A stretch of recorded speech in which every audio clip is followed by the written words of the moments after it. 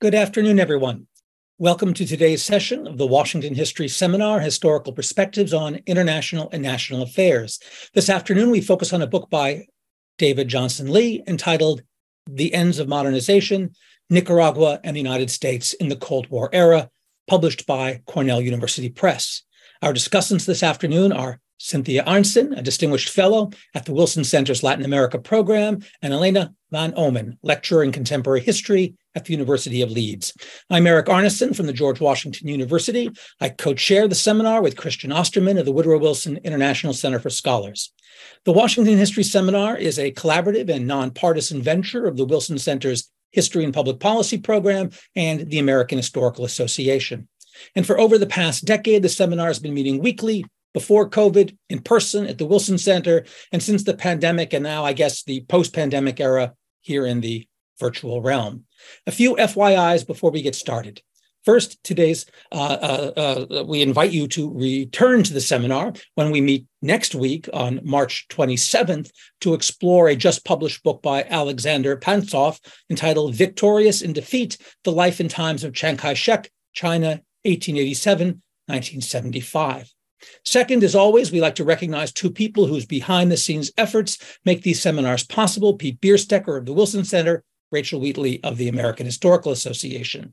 And finally, on the logistics front, please note today's session, as always, is being recorded and can soon be found on our institution's respective websites. And when we get to the question and answer section of the webinar, we ask those of you with questions to use the raise hand function or the Q&A function on Zoom, and we'll call on as many folks as we can. With those preliminaries out of the way, let's get the seminar fully underway. Christian Ostermann is our moderator this afternoon. Christian, the screen is all yours.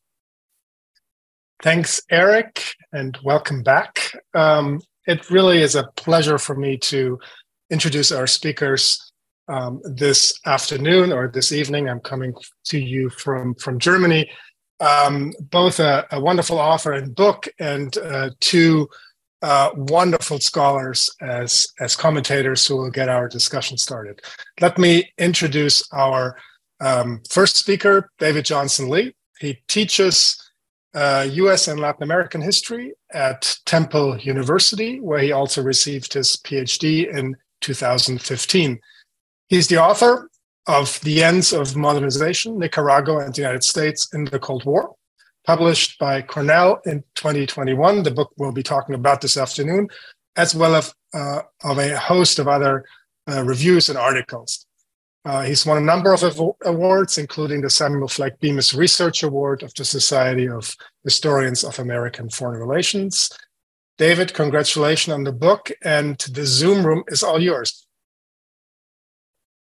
Thanks very much. Um, so uh, thanks, of course, to Wilson Center for having me. Thanks for uh, Cynthia and Alina for the commentary, and thanks, of course, to the audience for tuning in. So I understand I'm supposed to give a quick kind of recap of the of the main ideas of the book here. I'll take should take about 15 minutes. Let me share my screen. I've just got a couple of points on the slide here. So basically, I thought I'd begin by talking about the ideas that animated the book and what kind of questions I was answering and tr- trying to answer and going into my research and writing of the book. The big question that led to the book, of course, was trying to understand the ways that development policy is shaped by the ideas and actions of non-U.S. actors. So when I began my work uh, about a decade ago in, in grad school, uh, there was a lot of literature on the theory and practice of development as carried out, especially during the Cold War. And much of this literature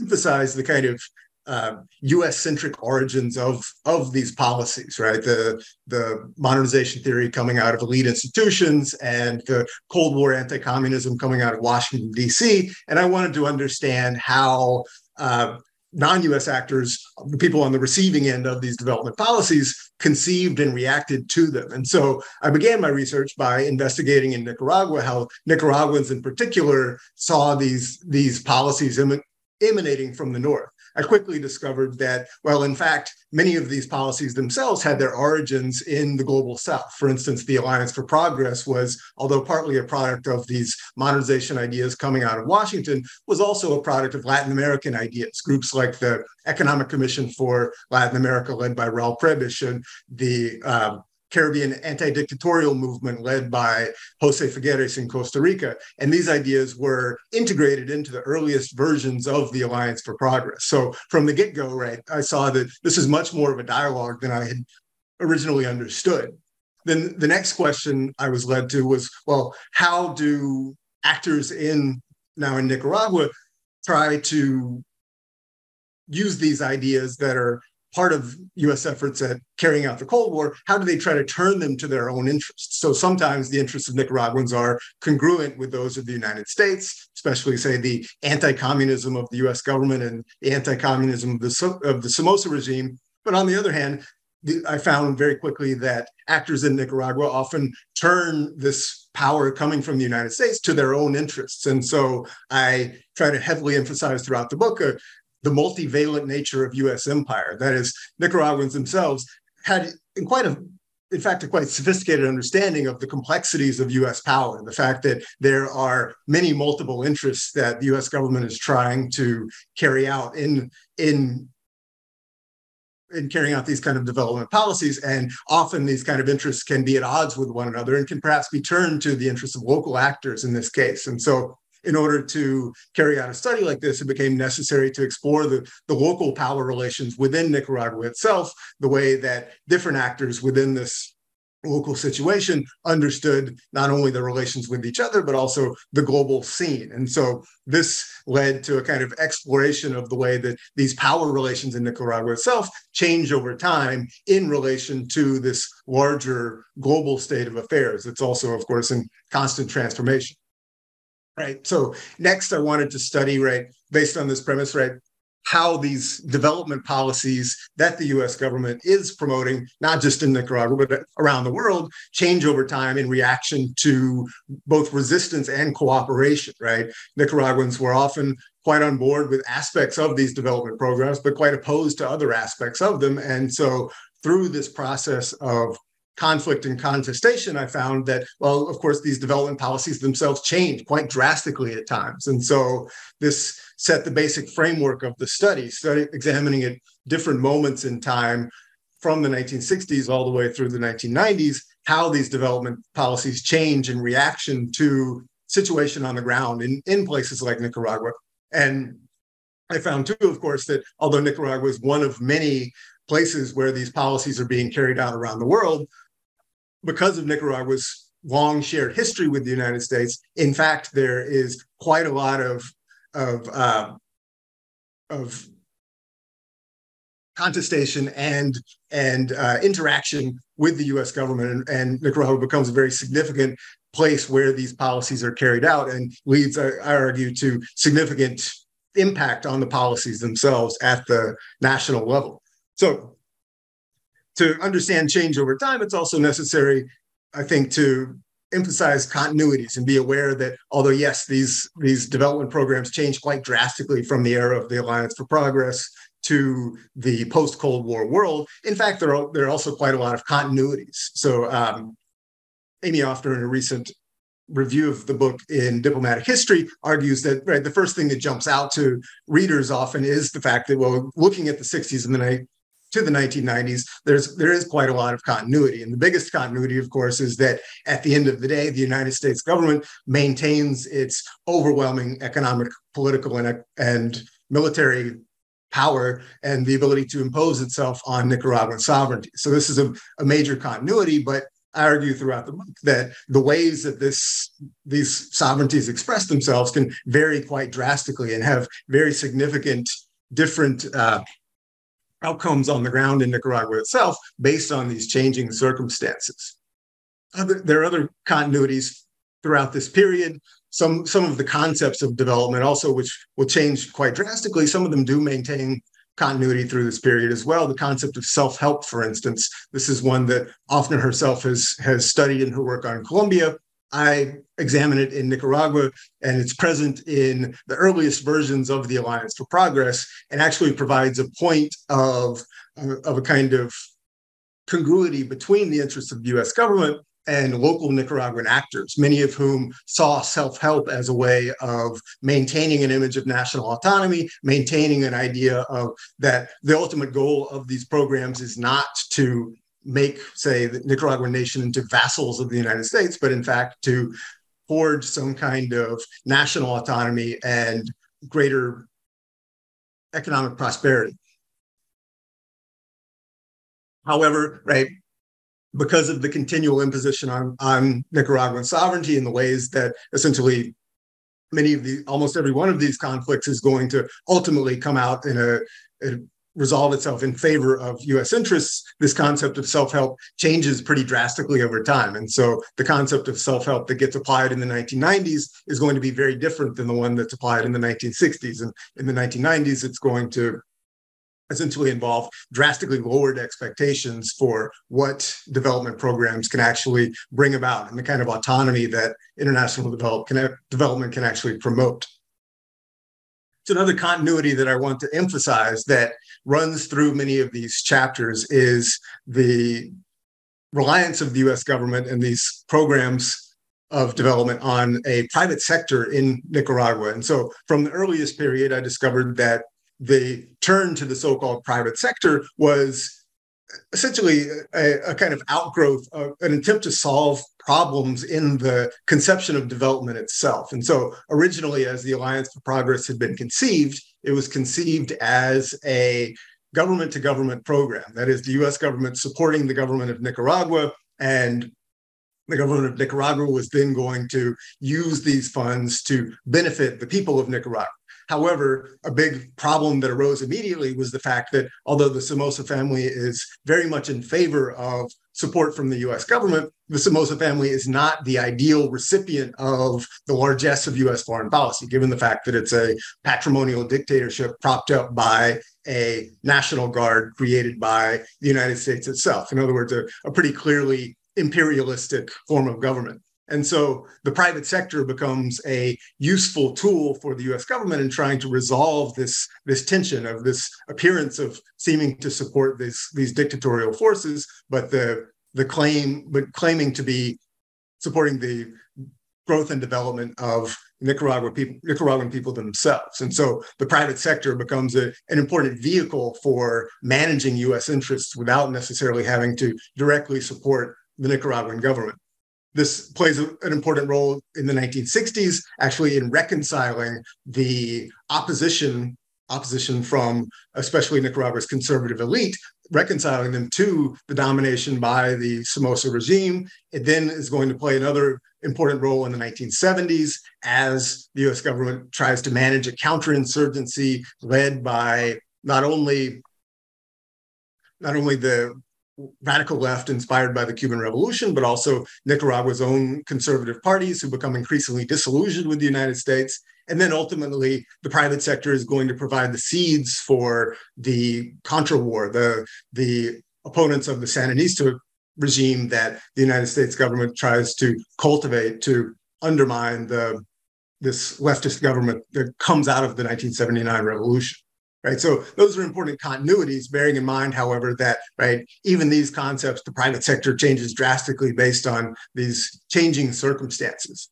Now, the discontinuities, of course, are many as well, and each chapter examines different concepts and, and different uh, ways that the ideology of development, the practices of development are applied in different ways based on these differing circumstances, right? So although the concepts of development change drastically and are often produced outside of Nicaragua, nonetheless, they have extremely important material consequences within the country itself. And so, one of the most uh, eye opening studies chapters for me in developing the book was my study of the reconstruction of the city of Managua after the earthquake in 1972. This became a kind of crucible where the US government tried to reconcile some of the contradictions within its own development policy, right? The Nixon administration, on the one hand, was very openly in favor of the domination of the Somoza government. However, many people in the United States government itself who were tasked with reconstructing the city after this massively destructive earthquake are not quite so comfortable with directly supporting a dictator. So, too, they need the support of the uh, Nicaraguan people themselves. And so they use concepts like decentralization, the idea that that a planned form of, of urban growth can actually decentralize the city, make it safer from earthquakes, make it more prosperous, and perhaps even undermine the power of the dictator. On the other hand, right, this this isn't what actually happens, although it does help reconcile some people within Nicaragua at least temporarily, to the reconstruction efforts by the Somoza regime. Ultimately, the product is what's widely perceived as a as a monstrous city, a city that that is unlivable for for its inhabitants. And this, very importantly, is going to lead to a kind of coalescence of opposition to the Somoza regime, both again from the radical left, but also from the country's own conservative elites who begin to see in the city itself an emblem of the failure not only of the Somoza regime, but of US efforts at development. And this is going to lead them to support a much more radical revolution than they might otherwise have. So material consequences can continue through the 1970s as uh, the, the counterinsurgency that both the Somoza regime, supported by the United States, carry out is very much shaped by new development concepts. And these concepts have changed pretty significantly by the 1970s based on the widespread critiques of the failures of early earlier development policy. So in the 1970s, we get the rise of concepts of human rights and basic human needs. Human rights, on the one hand, condemning the, the corruption and abuses of governments like the Somozas themselves and calling for reduction of aid by the US government to these corrupt dictatorships. Basic human needs programs, on the other hand, also critical of development policies, but critical of them for having failed at actually redistributing wealth and critical of them for essentially leaving the poorest of the poor, as they were called, behind in these development programs. And so, in fact, as I found, this this gets used as a tool of counterinsurgency. Basic human needs policies essentially end up supporting the Somoza regime much in the way that earlier policies in the 1960s had, based on very different uh, justifications and with very different material consequences, but ultimately leading just the same to ongoing support for this dictatorship, which ultimately proves unsustainable and ends with the 1979 revolution. The final discontinuity, of course, is going to be with the Reagan administration itself and the Contra war that breaks out in the aftermath of this revolution. The Reagan administration, of course, very famously opposed to its predecessor's efforts at development, critical very much of the human rights efforts on the part of the Carter administration, critical of the uh, of the premises of the Alliance for Progress itself, but the Contra War actually drew on many of the structures that had been created by these development policies themselves. The, the private sector that's been cultivated since the 1960s becomes the repository for the Reagan administration's efforts to undermine the revolution from within. Added to this, the Reagan administration also tries to exploit uh, tensions within the revolution itself and tensions within this international community that came together in the late 1970s to support the revolution and uses many of the same ideas that had been used to criticize the Somoza administration to essentially try to tar the, the Sandinistas as yet another dict- dictatorial movement. And this, although ultimately unsuccessful in removing some of the most vocal supporters of the of the the Sandinista revolution, nonetheless divides many of many of their supporters, socialist uh, fellow travelers in, in Europe and Latin America, and contributes to the uh, lessening of support for the for the Nicaraguan government, and actually an increase in dependence on the Eastern Bloc and the Soviet Union. So that's the uh, main ideas. How am I on time? I'm not timing myself. I, I think um, you know, yeah, maybe a couple more minutes, but if you want to bring it to to a close, so we yeah, can, you know, have time for debate. Absolutely. So, so basically, this this sort of question of continuity and discontinuity covers early period of the book. So each chapter goes through these different uh, development concepts at their particular historical moment, showing how the contradictions within them lead to political conflict and lead to uh, significant transformation in the historical situation itself. So I basically discussed already the chapters one through four. Chapter five deals with the revolutionary period itself, talks about how the indigenous rights movement also grows out, both of well, grows out on the one hand of the efforts on the part of indigenous people themselves to organize uh, and resist imposition of uh, central government programs all over the Americas, but also it's made possible by changes in development ideology itself and the growing de-emphasis of central state power and a much greater emphasis, like with these basic human needs and human rights programs, much greater emphasis on uh, local autonomy this will, of course, end up being used as a way by the Reagan administration to undermine the government in Nicaragua itself. And then the final chapter, chapter six, deals with the post Cold War moment, the way that after the end of the, the Cold War, Nicaragua becomes essentially yet again a laboratory for these international development ideals, seen as a kind of blueprint for a neoliberal republic. But against the, the kind of expectations and wishes of those in Washington, essentially, right, Nicaraguan elites had their own ideas about how to manage these new systems that are being put in place at the international level. And so the new government that comes into power, the election of Violeta Chamorro, is not nearly as willing to bow to the wishes of Washington as they might have expected. And so this leads yet again to a kind of crisis of power and ultimately to a much, much more explicit imposition of the idea that ultimately the United States is the ultimate arbiter of outcomes outcomes in Nicaragua and uh, essentially the democratic process has been for naught. And then the uh, epilogue tries to bring things up to the present. Of course, Daniel Ortega returns to power in 2007 through a democratic election and once again tries to manage the economic instability in Nicaragua by turning to a new set of alliances. Uh, China, on the one hand, the massive canal building program and the pink tide governments led by Chavez's Venezuela on the other. This manages to reconcile con- these conflicts for a period of time, but of course, in 2018, the inability to uh, provide the ultimate promises of, of development and the Ortega government's increasing imposition of authoritarianism leads once again to a kind of political explosion. And that's basically where we're still at today. Thank you. Thanks, David, for a good good overview. Um, it's now my great pleasure to welcome Cynthia J. Arnson uh, to the Washington History Seminar. Uh, Cindy, uh, as as I call her as a former colleague, is a distinguished fellow and former director of the Wilson Center's Latin America program. She's really one of this country's foremost experts on the Spanish speaking countries of the Western Hemisphere. During more than 20 years at Wilson, she has testified before the House and Senate and has produced scores of publications on Colombia, Central America, Argentina, Venezuela, security and organized crime, energy, human rights, and US policy in Latin America.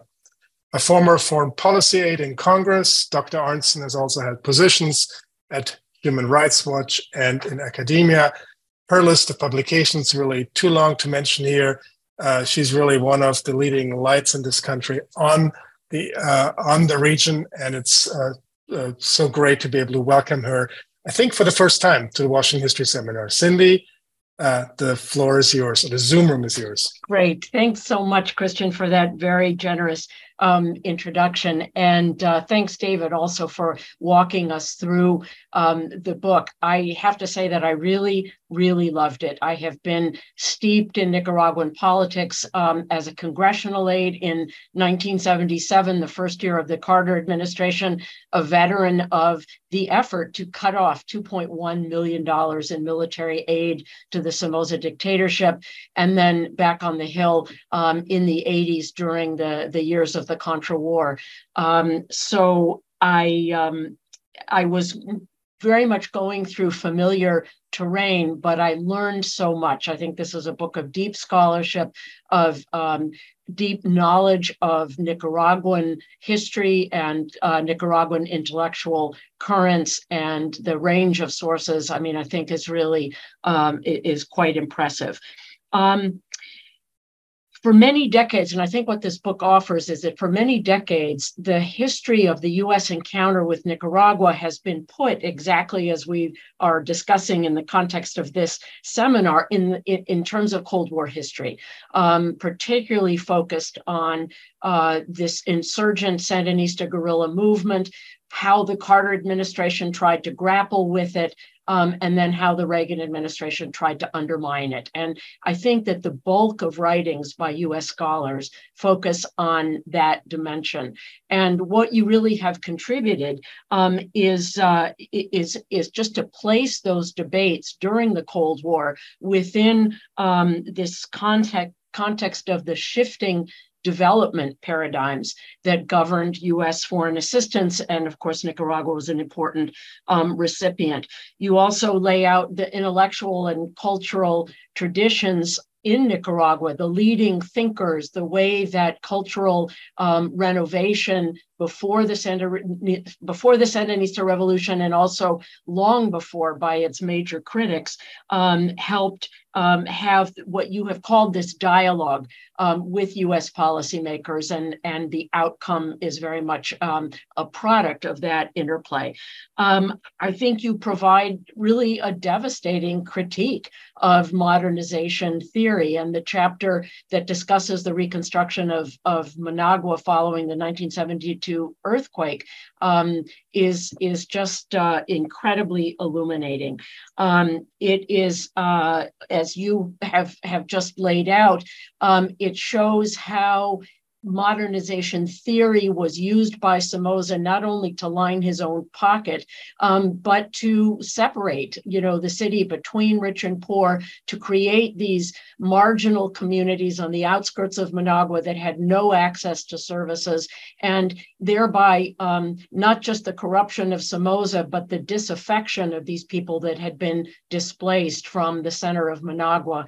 Um, um that that contains the seeds of of protest and uh, and and rebellion. And you mentioned the um, uh, the there's a name that you that you give to these shanty towns essentially. Um, and i recall visiting them when they had the um, the, the name open which was the uh, operación permanente de emergencia nacional. They were not even um, given a name. They just had a number. There was open one open two open three open four.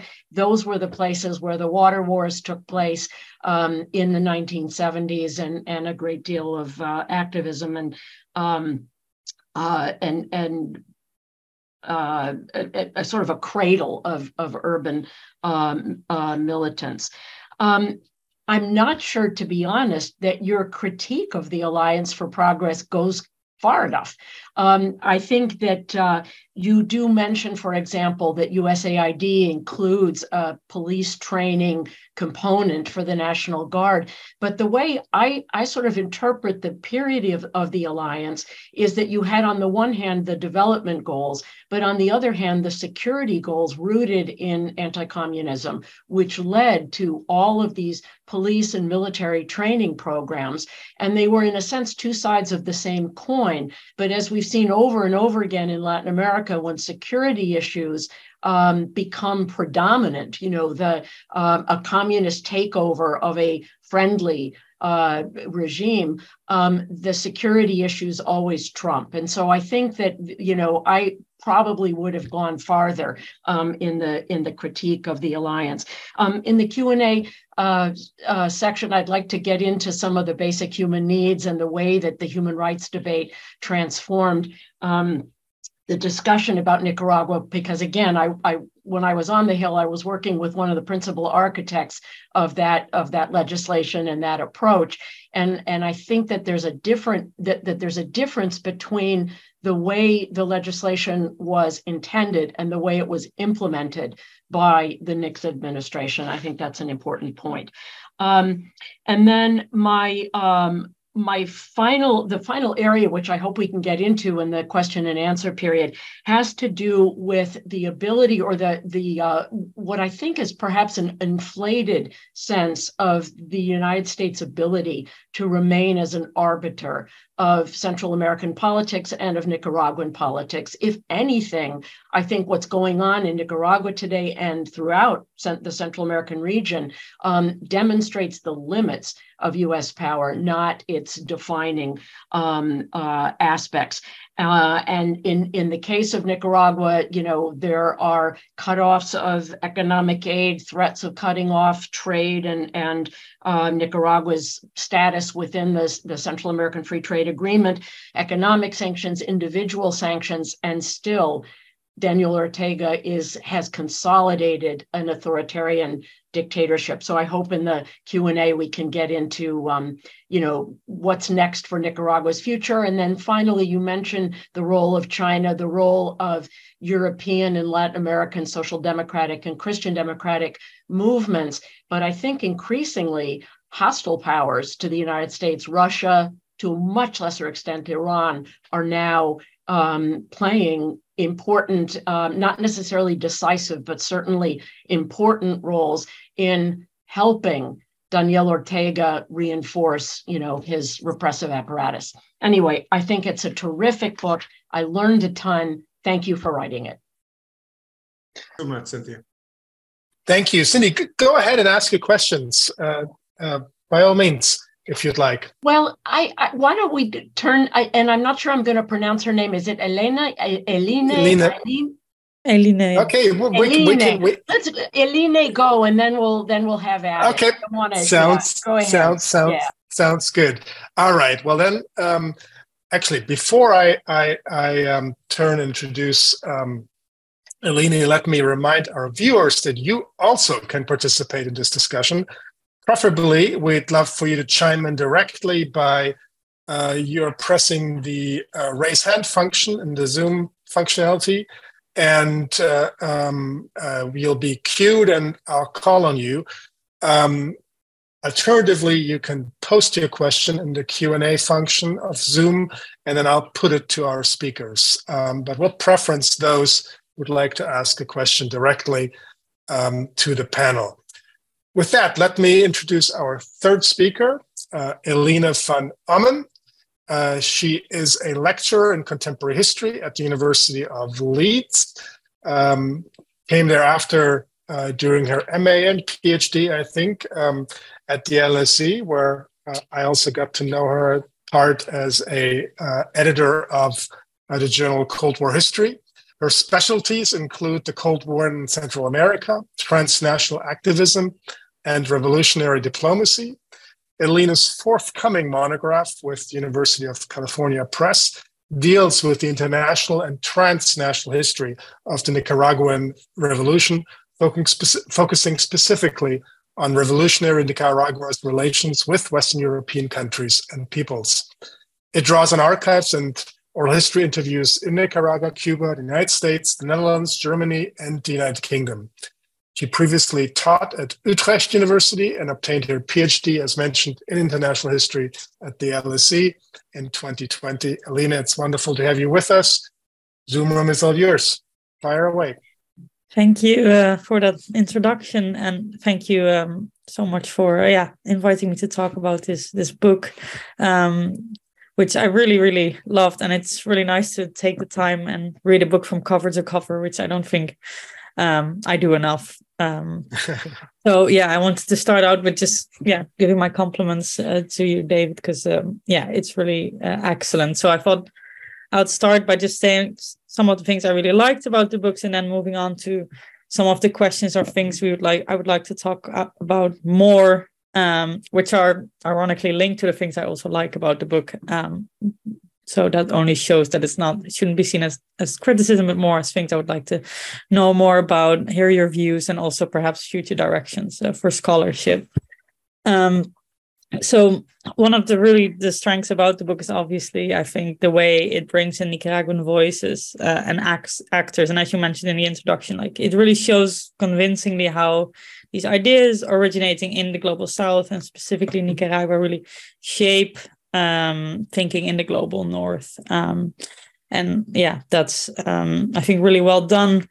And I think that's linked to another thing that I really appreciated, and that is how you bring in um, culture um, and you use these kind of these novels and poems, um, which not only makes for really enjoyable reading, but also I think you show convincingly how this is linked to Nicaraguan nationalism and how it's linked to um, the role it really played, the role culture played, and the role these intellectuals played in shaping Nicaraguan history, but also in shaping um, U.S. foreign policy. And um, I think one of the the stronger parts as well is the really the long term perspective the books take.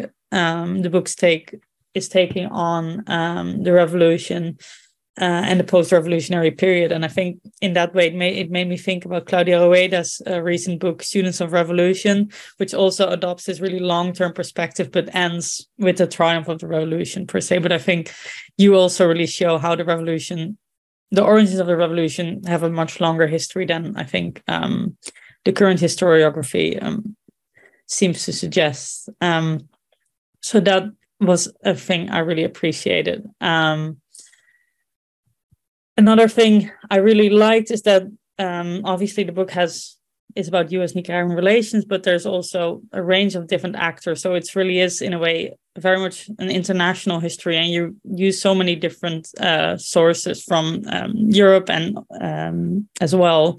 So obviously that's something um, I really appreciated.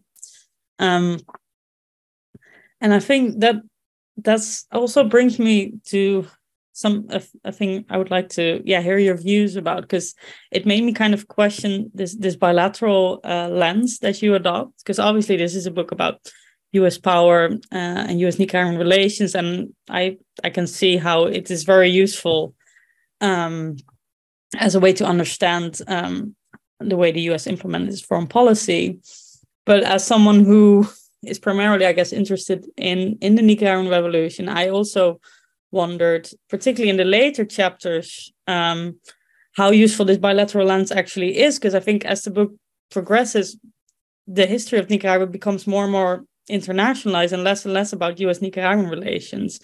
And I think that might be also why the first two chapters have a particularly strong argument showing how, for instance, the Alliance for Progress is so much linked to the consolidation of Somoza's power, how the reconstruction of Managua is very much about um, US involvement and how that backfires. But then in the later chapters, you see how it becomes a much more complex story. So I would like to kind of hear how, yeah, how you grappled with that and how you can think, how you think we can perhaps write this more international history of the Nicaraguan Revolution without it becoming just a cacophony of different voices and actors because that's obviously an, a risk that is there if we want to incorporate everyone. Um, so your views on kind of how why you made certain decisions about which, who to incorporate and which is which actors. Um, and because i think i was also thinking about modernization and obviously you look at the us but then what about for instance cuban views of modernization um, why did you kind of they don't seem to feature as much but i i can imagine they had a big influence on the way the, the nicaraguans uh, the sandinistas especially um, built their government. Um, so yeah i would like to hear a bit more about um, and linked to that point i was also thinking about U- us power um, because I think it, there seems to be an agreement that U.S. is a powerful and important actor in Nicaragua, obviously. But then one thing that actually struck me as I as I was reading the book is they always fail; like they never achieve their objective. So they try and implement the Alliance for Progress, and then what happens? The Nicaraguans go with it, and Somoza becomes more powerful, which is the opposite of what they wanted. They want to prevent the revolution. The revolution happens they want to overthrow the Sandinistas through military force. That doesn't happen. So when we talk about power and the role of the United States, how how do you kind of see and understand power there? Because it seems to be quite an, an unsuccessful empire there. Um, so is that is Nicaragua unique in that sense, or is it just uh, just me um, kind of wanting to hear more about kind of the nature of empire here? Um, and then I guess the final point for now is, and that's a question that kind of haunts the book a bit uh, for me, is that it's on the origins of the Nicaraguan Revolution. So I think all of the chapters are in a way linked to that, the early chapters at least. So in the first one, the one about uh, the earthquake, it's obviously very clear that you make the point that it's not the earthquake itself that causes the revolution. It's the way Managua is constructed after that. But then the other chapters seem to suggest that it's more about the role of the campesino, about land, about this kind of cultural nationalism that is being created. And then the, the chapter after that is more, it seems to suggest that it's more about the Sandinistas and their revolutionary diplomacy. So, um, yeah, would you, um, I would like to hear your views on that. Like, what actually is here driving the Nicaraguan revolution, or is it does this all come together? And that brings me actually to the final point. Um, and you mentioned that in your talk, and I think it is very uh, striking in the book, and that is obviously the theme about the theme about change and continuity. Um, you talked about changes in U.S. foreign policy and ideas about development, but it's also these um, Nicaraguan elites that stay the same throughout much of the period, um, despite that, on the other hand, there seems to be these moments of radical change, such as the earthquakes, such as, such as the revolution, such as the, the election of 1990. Um, so, your thoughts on kind of, yeah, are there moments of radical change, or do you think this is ultimately a story about continuity and um, resistance and collaboration with U.S. Uh, empire and the global uh, arena here? Um, so those are just some of the thoughts I had, but congratulations uh, on a brilliant book, which I really loved uh, reading. Thank you, Elena. Thank, thank, thank you, Elena, and thank you, Cindy, for wonderful, thoughtful comments. David, you want to respond, and then why don't you know I'll just give um, Cindy and Elaine the the floor to kind of re- respond in turn or engage you some more on some of the the questions that uh, and issues that Cindy and Elena put put on the on the table. Over to you, sure. Dave. How about how about I'll start with the the questions from Elena since they're fresh in my mind, and then we can go back to Cynthia and she can uh, give me her questions there. So I I appreciate Elena's observations and many of her concerns are exactly the same sort of concerns I have coming out of this and right the the, the problem that no book can do everything. I wish I wish I could do could study every aspect of say the the global situation. And uh, to be honest, when I began the, the book project, some people looked at what I was doing and said, you're probably not going to be able to do that. This is too ambitious. You're not going to be able to cover this massive period. This is you're you're never going to find sources. And right, certainly, it, sources get much much harder to come by the later you get right? By the 1980s and 1990s you have to begin being very creative about sources. And i appreciate elena's appreciation of the the role of culture here right? So part of the joy of of writing the book like this was to deeply engage with all of the the, the culture that Nicaraguans themselves are producing, but also it became a kind of necessity, right, to to try and think through in the absence of other sources, what what what can we do to get at, say, the perceptions on the part of local people of this international situation, and so it's both both kind of a joy and a necessity in that sense.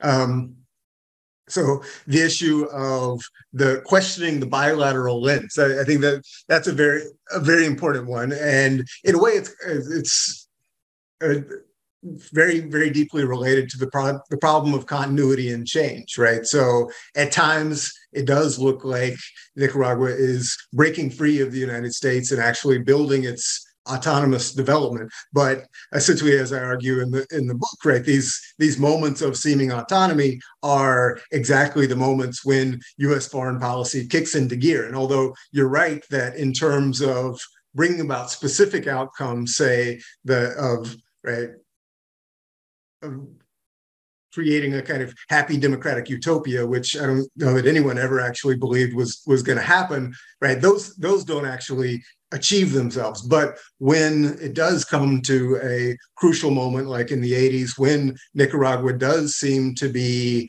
actually bringing together this international alliance of social democrats and social Christians uh, that can actually threaten US hegemony in the hemisphere, the US government is actually very effectively, I argue, able to drive a stake in the heart of that alliance, right? The, the Contra War itself, I think, serves this very important political purpose. They don't, they don't achieve their goal of overthrowing or their stated goal of overthrowing the Nicaraguan government. And even people in the US government complained that well, actually the Contras don't seem like they really care about overthrowing the government. They're more interested in selling cocaine and, and getting rich but right the, the the funding of the contra war and the politics of the contra war was very effective in in drawing a wedge in this international alliance which the reagan administration saw as a, a, a danger not just in terms of promoting governments like nicaragua but also in creating legitimation for uh, socialist ideals in the hemisphere, right? So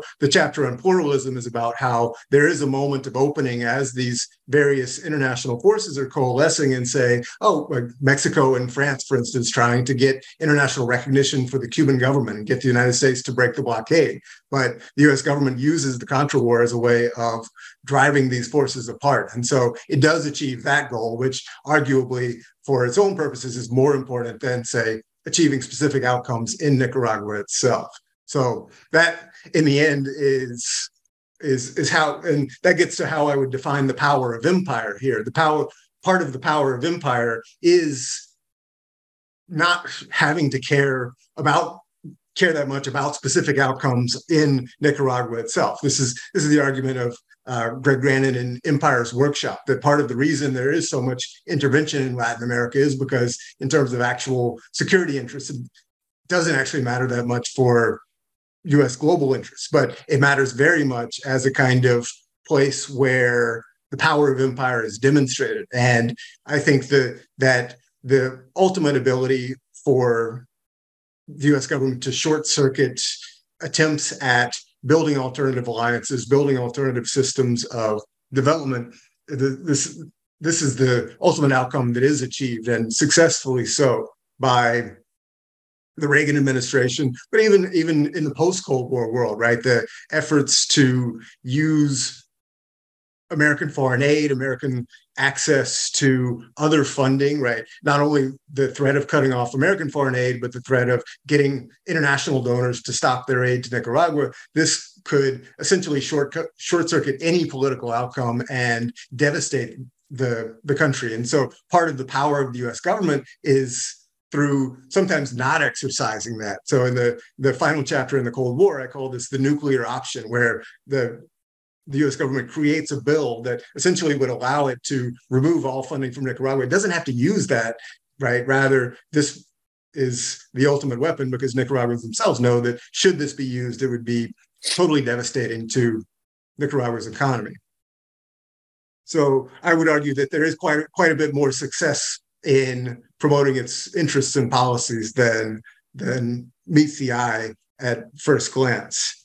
Um, and maybe, well, maybe we could come back to the, the question of what's really driving the Nicaraguan revolution. So, again, in, in terms of why this focus on bilateral relations, and I, I totally understand that, that treating the treating the relationship with the United States as the sole determining factor or the end all and be all of of this relationship is to do a disservice to Nicaraguans themselves. But right, given the overwhelming power, and also given the fact that well, Nicaraguans are very cognizant of the power of the United States in this situation, and so even when they are challenging the power of, of the US government, cha- challenging US hegemony in the hemisphere, they're doing so very self consciously, knowing that, right, they're poking the bear and that right, the United States is going to respond and they're going to have to shape those policies, knowing that the United States is going to, at the end of the day, be the most important arbiter, even still to this day, right? Despite recent efforts on the part of,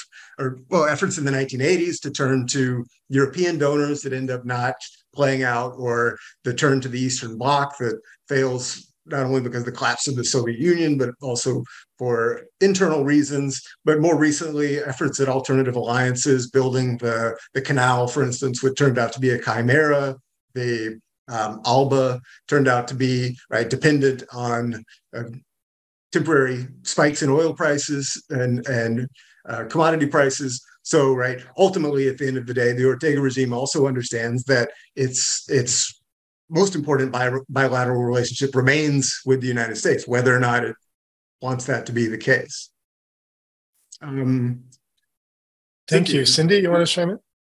Sure. Uh, two very disparate comments and then a question. Um, one has to go with this uh, idea that you're looking at the bilateral US Nicaraguan relationship and not enough at the other actors and, and their role um, or, or the position of Nicaragua within that international context. And I, I think perhaps the best demonstration of that is the role of, of the former president of Costa Rica, Oscar Arias, in actually pr- setting the stage for the end of the Contra War. It wasn't just that James Baker and others, you know, decided, uh, you know, the election happened, we're, we're out of this. I mean, there was an actual um, um, opening for non US actors to play a significant role because of the fracturing of the consensus over, not even consensus, but the majorities in favor of Contra aid that the Iran Contra scandal represented. So you had, you know, as opposed to what took place around 1983 when uh, Contadora formed on this island off the coast of Panama between um, Venezuela and uh, Mexico and Colombia and Panama as trying to provide an alternative to keep the Reagan administration from doing something totally crazy and invading El Salvador or whatever. Um, it you know, it never really gelled because there was too much coherence within the US body politic and too much agreement over the ends, if not the means, of US policy in Central America, um, principally in that time to, you know, defeat the, the FMLN in El Salvador. Um, so Arias comes about in 87 after the Iran Contra scandal has broken and is able to kind of put together a peace plan that not only deals with the international security issues that the US is carry, is concerned about but also the internal democracy issues that that he and other Latin American leaders you know have been pushing for. So that's that's just uh, one kind of uh, footnote, I guess, or to this to this discussion. As you say, you can't put everything in this book, but you know because we're talking about the extent to which the U.S. Nicaragua helps you understand the the whole. Uh, I thought that was relevant. The other thing, which was very much a text and a book that that I read as an undergrad and a graduate student, you know. Um, uh, Samuel Huntington's work, you know, Political Order and Changing Societies. I mean, it was just this seminal book, which I think un- helps you understand the longstanding support uh, for Somoza. I mean, his thesis was, you know, modernization didn't lead to sort of um, you know, development and greater equity and the creation of a middle class, which would be this bastion of liberal democratic values, but rather that it was destabilizing and because it was so destabilizing and um, set in motion all of these different um, social dynamics that you couldn't necessarily control, what you needed was the armed forces to maintain order because they were a, an institution that was far more developed than others. So, anyhow, it kind of that argument hovers in the background of the critique of the alliance, but you know, in a second edition, maybe you can make that, you know, a little bit more explicit. So my question to go back to this discussion um, does have to do with the U.S. ability to um,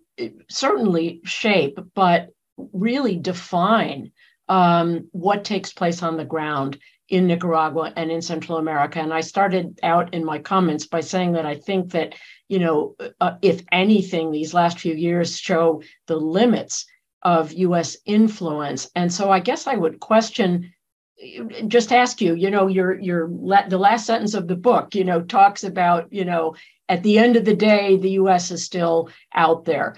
Um, you know, how you would grapple with that in light of what has taken place in Nicaragua since 2021. I mean, you talk about the 2018 protests and the repression, but you know, you have um, the the jailing of all of the of the critics, including um, uh, Comandante Dos, who was, you know, one of the people uh, not named in your book, but you know, referred to or you know, hinted at in the 1974 takeover at the ambassador's house. Um, that freed, among other people, you know, Daniel Ortega from jail. Um, uh, you know, given that, and now the exile and the utter closing of civic space and um, the criminalization of protest and the increased role of paramilitary sort of shock troops, um, not just the the Nicaraguan you know civilian police. Um, where's the where's the uh, the evidence, I guess, of of the U.S. ability to really be the final arbiter of Nicaraguan politics? Yeah, I mean that's Oh, um, somebody, Christian. No, no, go ahead, go ahead, go ahead, go ahead. No, no, go ahead. Um, so, I mean, that's that that's a really great question, and I, I, I'll, I'll be honest, I, I don't think that that right? Despite the efforts on the part of the Nicaraguan, op, Nicaraguan opposition, I don't think they've been able, uh, despite the fact that they would like to be able to, they have not been able to galvanize the same interest in what's going on in Central America or in Latin America in general as they had been in an earlier era. So I think the the changed global context is is very important, right? So there were there were stirrings of greater interest in what was going on in Nicaragua when there was a fear that, say, Chinese interests were were uh, becoming uh, more dangerous in the region. Or Cindy also mentioned uh, Iran and Russia, which have have sort of toyed with funding funding groups like like the FSLN and, and ALBA. And right, that has at least at, at, at, various moments, kind of piqued the interest in Washington and created a, a, similar situation of this kind of international call for intervention of sorts. However, right, given the, the last couple of, of decades that in the post Cold War world, essentially the US government, I think, has largely washed its hands of specific political outcomes in in Latin America, with the exception of confrontations with Venezuela and the occasional saber rattling towards towards Cuba or something. Right, by and large, this is right? A, a different era. And i would argue that one of the main differences in that era is due to changing conceptions of development. And so the the good and the bad of this era of the cold war was that many people in the united states believed that things going on on the ground in nicaragua were deeply important for the united states not just in terms of national security but in terms of hemispheric development and building this kind of vision of of prosperity through mutual alliance, right? That with the, with the destruction of those ideals has i think we've, we've lost both the good and the bad right? The, the the good being the idea that there is there is an inherent shared interest in development across the hemisphere. And so one of the tragedies for me of this of this book is that right this right these, these events did drive a stake through many of these hopes of of mutual interest, mutual cooperation, and mutual development. And they did so partly because, right, essentially US security interests, going back to earlier comment that Cindy made, US security interests are often used as really the only ultimate arbiter of why we should care, right? There, there are these brief moments in which, right, people in the United States do begin to feel that, oh yeah, there, there, there is some shared interest here moments of humanitarian disaster for instance or moments of great kind of political upheaval but by and large right uh, it's it's very difficult to convince American politicians that American interests are really at stake unless there's some larger global phenomenon that has to be dealt with. So for the time being, I I just don't think that uh, Nicaragua is is on the radar of policymakers in those sense in that sense. And right, this is deeply upsetting to the Nicaraguan opposition, for instance, who see this as a as a failure and a betrayal. And right, I outline in the book the ways that they've often returned to the United States for for this kind of attention, but the the ways that this attention can often well backfire as well. So it's not not a foregone conclusion that it will be beneficial to their ultimate interests, to say the least. Thank you. Why don't we see if we're bringing in a couple of other people? Eric, I think you have a question for the panelists, and then I'd like to call on Richard uh, Millett um, as well. Uh, Eric? Thank you. This is a fascinating discussion. And I want to invite you to talk a bit more about your chapter about uh, Nicaragua's indigenous people, uh, the Mosquito Indians, um, and the Sandinistas' misreading um, of political dynamics and the hard, the ham-handed policies uh, that they implemented that so alienated um, that population. So you go into this in the book, but I'm wondering now if you could just talk a little bit about this for those who are listening. And as follow up to that, you have in this chapter a fascinating figure, um, a professor of geography at Berkeley uh, named Bernard uh, um, who is not just a scholar of geography, but becomes an active participant uh, in advocating armed resistance. Um, and this is not something that most scholars tend to do. Um, but if you could also just amplify his role in this particular moment and in this particular context. Yeah, thank you. So, um, so the well, I mean, the the question of of armed resistance is an important one, and so certainly, right, the stu- studies of the solidarity movement, for instance, uh, this is a, an important issue for academics all over the world who who look to Nicaragua and look to these kinds of third world re- revolutions as possibilities for genuine socialist transformation. Nietzschmann is right. Part of part of the fascination for him as a figure is the, the way that he he runs against the grain. On the one hand, he he is taking up this kind of anti-government social social justice cause, but doing so in congruence with the interests of the Reagan administration. At one point, even arguing that that the Reagan administration needed to completely change its attitude towards the Contras, supporting this this remnant of Somoza's Guardia Nacional was a losing proposition. Instead, it needed to create an indigenous alliance for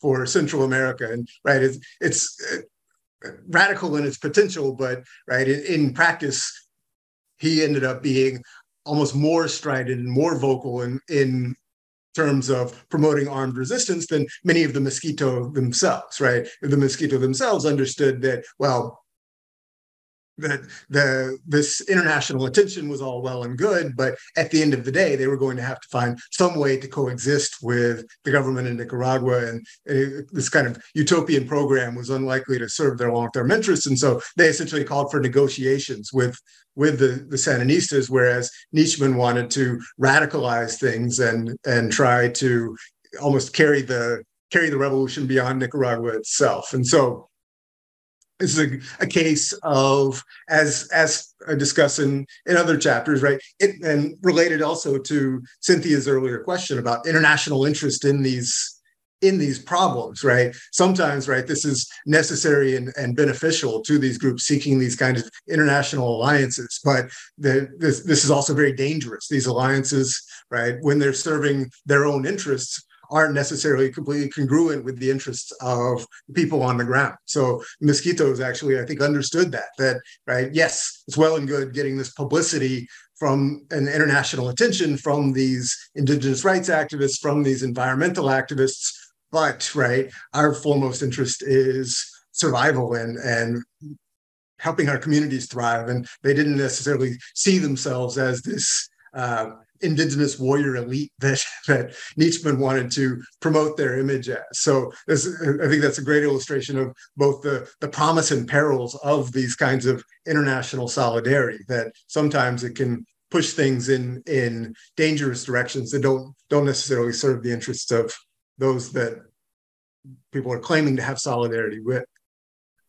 Christian and, and, Eric, if I if I could just jump in and add a word here, I think that Absolutely. the chapter that the chapter on the the Atlantic coast and the Miskito Indians and the rebellion and it's you know the way it's uh, um, you know overlaps with the Contra War but is different from is one of the most illuminating and original chapters you know of the book. I don't recall seeing anything in the english language that is as detailed and as balanced you know as uh, as what you lay out. So i i think that um you know you use the focus on the Miskitos as a way of showing how indigenous rights became a part of the focus um, of development uh, thinkers. Um, but quite apart from that, um, the role of the Atlantic Coast, the Miskito Indians, the leadership here in in, uh, uh, in based in Washington as as well as in Nicaragua, I, I, think was was really brilliant. I thank you for that. Thank you. Thank you. um, that will be appreciated by David. Let's go to Richard Millett. Richard Millett, and if uh, we invite all of you to join us, uh, use the raise hand function, and we'll call on you. Mr. Millett. Unmute. There we are. Thank you. Yep. Well, having been writing and studying Nicaragua since the 1960s, I guess I have a, a longer perspective than most people do on this. Um, I got one, one quick thing for you, Cindy. Uh, looking at all the Somoza plans for the quote non reconstruction of Managua, the open one, open two, what they did was they gave monopoly bus routes to retired Guardia officers to bring people in from these new settlements to where the industrial, such as it was, part where the jobs were. Um, because for them, they saw bluntly more of a threat to their rule, at least until late in the game, from discontented Guardia officers than they did from the Sandinistas. It was one of the strangest things I ever encountered. But uh, you could name the Guardia. You had to retire them quickly so the next generation could move up. Um, and you could t- see where each officer was given that monopoly bus route.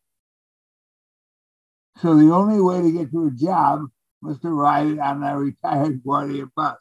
Um, that that that in some ways is very typical of the ways the Somozas handled whatever could be called modernization in Nicaragua.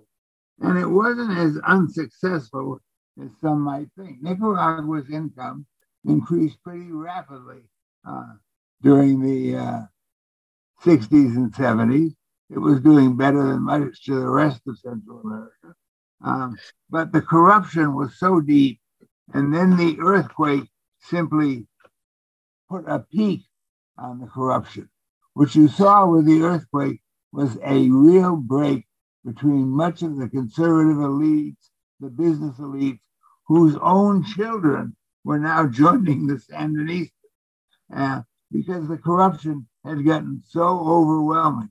You know, what I said for years, and you can tell how old I am, um, was that the uh, stole cream off the milk and now they were stealing all the milk itself.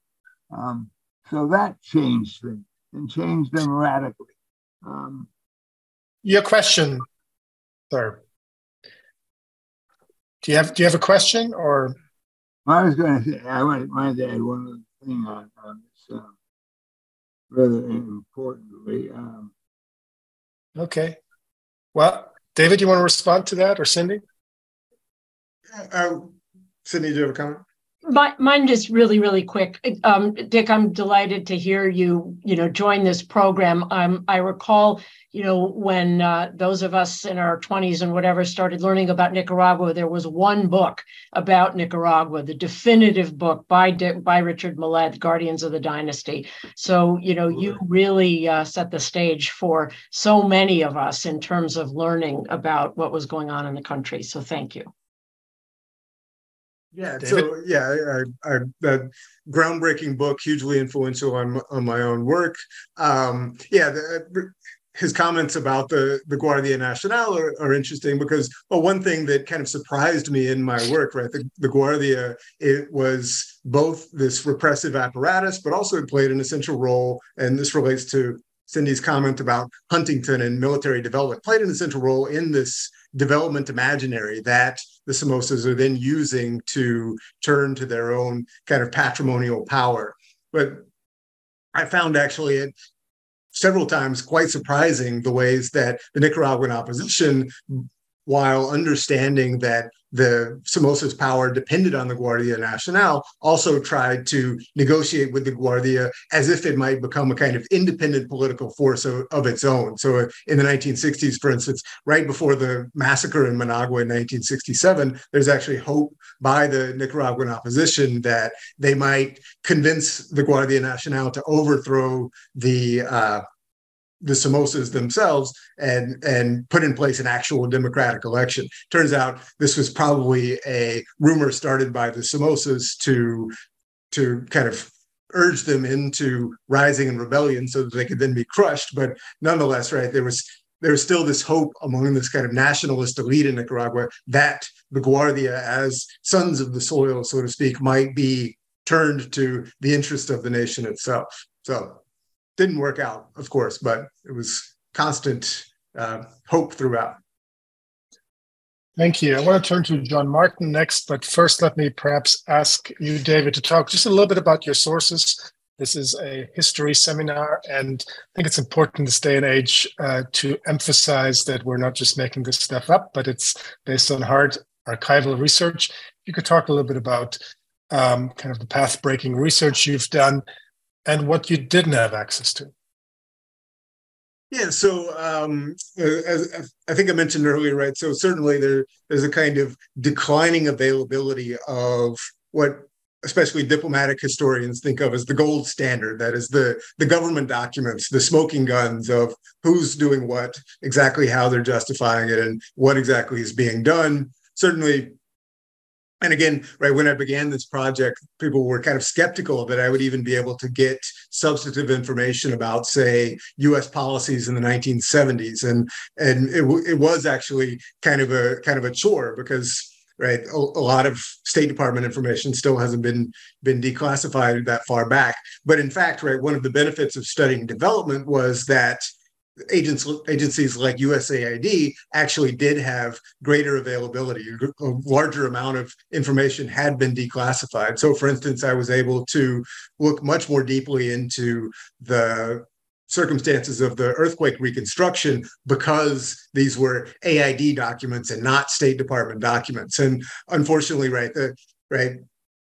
Um, trying to recreate that feat. So when I when I found that information, this was like striking gold. I knew I had a, a good project to work with, but then trying to recreate that feat, especially for say the revolutionary period or afterwards, becomes more and more difficult because there, there's less material that's been declassified. But I would say that right the, in, in terms of potential for future research, I think there is lots of based just on the the incidental research I did finding information, of course, on other countries. There's there's tons more information to uncover about the the uses to which this money was being put all over Latin America from the 1960s and afterwards. And as this declassification process continues, I think we'll get lots and lots more um, interesting studies of this. Um, and the second part of the question was about what well, what I didn't find uh, well, so I mean, one of the, the, the things that would would be ideal, of course, in a study that tries to take seriously the the Nicaraguan perspectives, right? There, you would hope there would be lot, lots of government documents on this, but of course, right, while the Nicaraguan government archives were actually destroyed in the earthquake and fires following 1972, and there has not been a massive uh, preservation of government documents afterwards and not been massive declassification. On the other hand, Nicaragua does have a wonderful historical institute at the University of Central America that is really groundbreaking in collecting not only these, these kinds of historical documents, but cultural documents and doing wonderful work on promoting the study of the history of Nicaragua would not have been able to do any of my work without the work that Nicaraguan scholars have done. And so that is immensely valuable having those kinds of connections, being able to have conversations about these issues with Nicaraguan scholars played a really important role in making this possible. Can can I ask something uh, about sources? Because sure. I think one, in one of the things I really appreciated as well in the chapter on the earthquake in Managua is the section where you just talk about where you really show how um, the effects of these these policies and these big ideas on on the ground. So you have these images of these these residents like uh, protesting the lack of water and stuff. And I wondered, and I guess I wondered, have you kind of found or think about other sources uh, in the other chapters as well that really show the impact of these policies more at on at the grassroots level? Because I think that could really en- enrich text like this as well, like really not just looking at government plans and ideas, but really showing how it played out on the ground, how it was experienced by the people that it was meant to transform, by the people whose lives it was supposed to um, prevent, uh, to improve. Um, and I like this is obviously a, big challenge, but in that chapter, I think you you do quite an, an excellent job of it, which and it makes the story come alive a lot more as well. So for instance on but i was missing that perhaps a bit on the, the the, indigenous coasts. Have you i'm and i know like going to do research that was obviously very difficult but have you looked into that um, and thought about that? Yeah well so uh, the another i mean the archives are as, as we all know created by people for a certain interest, right? So government archives are interested in governing. And so that's a very good way to get at the, the lives of ordinary Nicaraguans, for instance. In the case of the, the earthquake, the reason we have those stories is actually because of the, the actors that I'm describing in the story, who both the, the publishers of La Prensa, the conservative newspaper, and their their own kind of radical staff who were interested in collecting these stories about the experiences of the earthquake victims. And so I was able to take advantage of that because the people in La Prensa went and did that work. Unfortunately, right, th- that political moment was fairly unique, right? There are other other moments in which, say, La Prensa or other other presses try to get at the experiences of, of Nicaraguans, but they are sparser than than you would like. And so, in terms of the the issue with the, the East Coast, right? The although the Nicaraguan opposition w- was totally on board with anyone who was trying to undermine the Sandinista government, I think their own sort of cultural prejudices, prejudices often kept them from more directly engaging with issues on the East Coast. And so that's one of the reasons I don't think we have those kinds of sources that, right, there, there weren't people with that kind of interest. And we do have people like Nietzschmann, who I was talking about earlier, who is trying to kind of collect the the say experiences of human rights abuses, but he's doing so from his very particular, uh, in the name of his very particular political project, right? So those sources too have to be taken at far from at face value. And so, yeah, the absolutely invaluable resource, but also, right, unfortunately, right, the resources that are created are often created for these kinds of uh, political moments in which in which they're born. Thank you. Um, John, you're next, John Martin. Uh, thank you, Christian. Uh, David, it sounds like a wonderful book. I've just bought it. I'm really looking forward to reading it. And this is a footnote kind of question, but I covered the uh, the Iran Contra war. I, I covered the the uh, the fighting and, and the trial and so forth.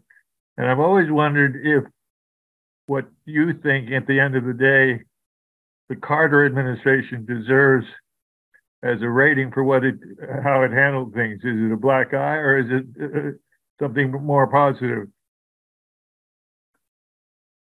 That is that is a very good question. So, uh, um, what I, I I try to show that the the Carter administration is being pulled in multiple directions, right? So, uh, I think the there there again is even even multiplicity within the administration itself right? On the one hand there are people who are calling for cutting aid to somoza because of these manifest human rights abuses. There are others right? Even people in the, the sometimes the very same people who are for the, the christopher committee for instance which has to go through and decide which things to cut actually uses these development premises uses the premises that the the basic needs of the poorest of the poor need to be served and essentially they continue to prop up the Somoza government and provide aid which allows it to maintain its alliances with local people. And so i think i mean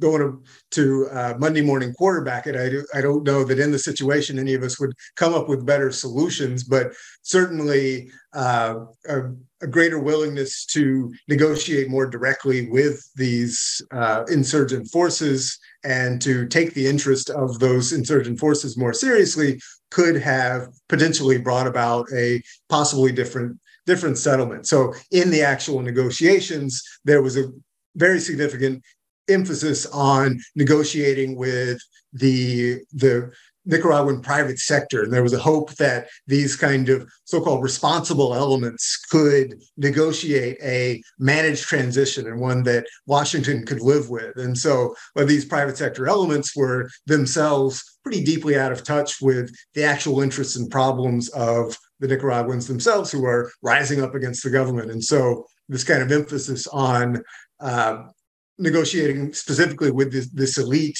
whose job was pretty explicitly seen as sidelining the radical efforts of the the FSLN and their allies, I think this ultimately ended up being counterproductive, right? It, it, because right, the FSLN at the end of the day knew that they had the ultimate power, and I think the Carter administration, had they been more uh, forthright about recognizing that fact, could have perhaps save some time at the very least and, and save some lives. So I that my my impression is that the Carter administration tried to work often at cross purposes with itself. And so I also try to explore some of the contradictions within uh, Carter's human rights policy and the policy of non-intervention as well. Ultimately, I don't think served the interests of either the United States or Nicaraguans, because I think ultimately this the, the idea that the United States is not directly intervening in Nicaraguan political affairs is just an illusion that no one actually believes, right? And so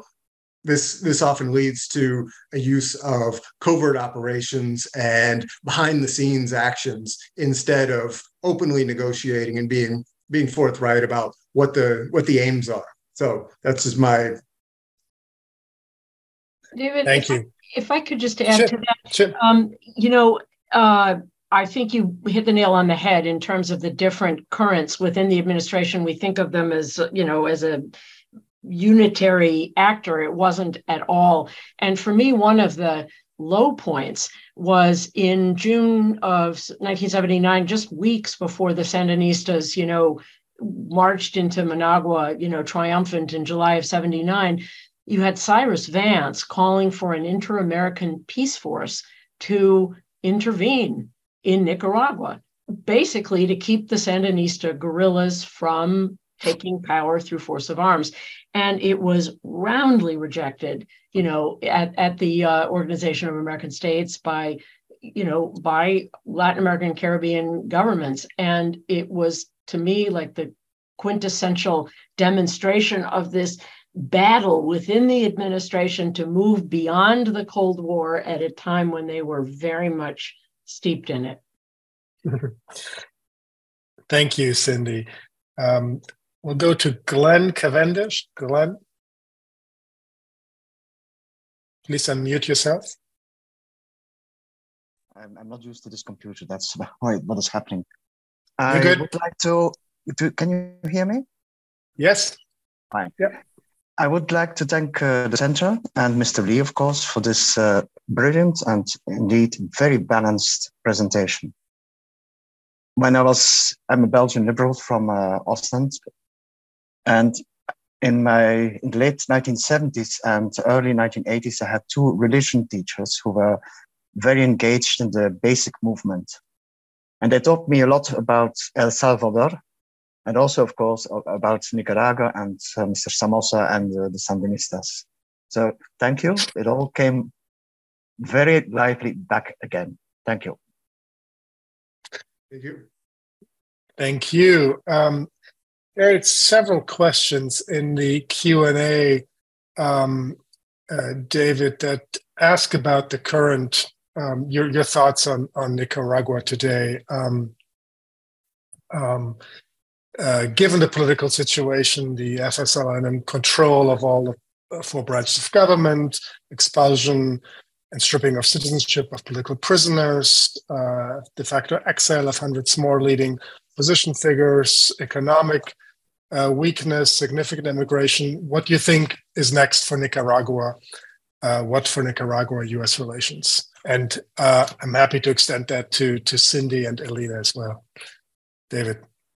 Yeah, I would like to hear what they think as well. I mean, I, I certainly have no crystal ball, and the the significant step recently, of course, was the release of these these political prisoners, which I think was a kind of interesting indication of perhaps a, a willingness uh, uh, to negotiate with its own internal opposition and perhaps a willingness to cooperate with other outside governments on the part of the Nicaraguan government. On the other hand, these uh, political prisoners when they were freed are stripped of their citizenship and essentially denationalized, which I think was a deliberate choice on the part of of Ortega to try and strip them of their national identity, which, of course, as I try to outline in the book, is for especially the conservative opposition the worst thing that could possibly happen to them, given their their kind of deeply nationalistic premises. So I think Ortega still demonstrates a, a, willingness both to antagonize his opposition and to to continue trying to antagonize the international community. On the other hand, I I don't think that. Uh, I don't think the Ortega government is is necessarily interested in maintaining authoritarianism in the style of of the Somozas long term, or at least I certainly hope not. But remains an open question for the future whether after the passing of Ortega there will be a kind of passing of the of the mantle to a family member or a handpicked associate. Only time will tell. Thank you. Anyone else like to chime in on this final question? We're just about out of time, so this will probably be mm. final words. Oh, Elena? Yeah, I ahead. don't know if I want to take responsibility of final words. I just, yeah, like David, I don't, I can't really predict the future. I guess from the perspective of a historian, I, I do think it's interesting to see how current events in Nicaragua or since 2018, how they are shaping the way we, we study Nicaraguan history and the revolution and how it makes us think about perhaps if this was all, if the revolution was always inevitably going to end up in another authoritarian government or not, how there is a lot more interest now and a lot more legitimacy in a way to study the, the Contra war from different perspectives. So, in that sense, um, it is um, yeah really shaping I think the way we look at Nicaraguan history. Um, but it's also going to have a lot of negative impacts because I don't think anyone is currently doing archival or oral history research in Nicaragua at the moment. So yeah, it's gonna from that perspective of a historian, it's gonna have a, a lot of, of impacts for the foreseeable future. Thank you. Cindy, final words? Sure. And in terms of that, the questioning that Elena was just, um, you know, referring to, Daniel Ortega was a member of the Tercerista faction of the Sandinistas, the one that was the most pluralist, the most um, hmm. uh, prone to look for alliances, you know, with the private sector, with other, you know, anti-Somoza elites. And so for him to be in this position now, I mean, I think does cause us to ask some of those more basic questions. Was the Reagan administration right that these people were just, you know, authoritarians, uh, you know, um, keeping around these useful fools um, to uh, as window dressing. Um, in terms of the future, um, I it's hard to feel optimistic. I think there's a, a strong sense that Ortega will uh, try to pass the mantle on to one of his sons, that that's who's being groomed. What that will do to the Sandinista bloc, both in the military, in the police, which I think are really the the the you know the bulwark of the regime right now what another non-revolutionary you know original generation figure will mean um, for the future of Nicaragua, I think is going to be very important. But because you always, as as you point out so well in your book, had this interplay between international forces and Nicaraguan elites, all of those elites have been silenced. Um, they've been exiled, stripped of their citizenship, stripped of their property. Uh, the church is completely uh, dismantled. Bishop Alvarez is one of the few people that, I mean, the one person who refused to, to be liberated with uh, the other 220 political prisoners.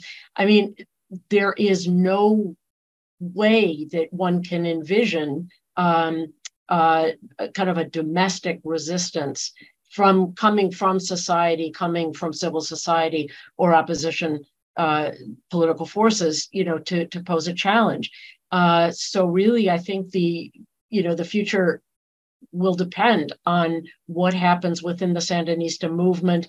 Um, should Rosario Murillo take over? Should one of the sons take over? You know, how does that shake things up? So I, I find it hard to be very optimistic about the near future. Certainly. Thank you. There are lots more questions in the Q&A and we'll try to capture some of those for you, David. But uh, we could have clearly gone on for much longer, but this has been a really terrific, very enriching discussion.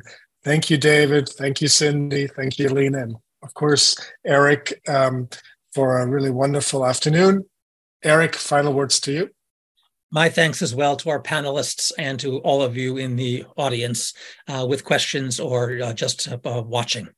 Please join us next week on Monday, March 27th at 4 p.m. Eastern Daylight Time for a discussion of Alexander Pantsov's new book, Victorious in Defeat The Life and Times of Chiang Kai shek. Till then, stay safe, good night, and thanks.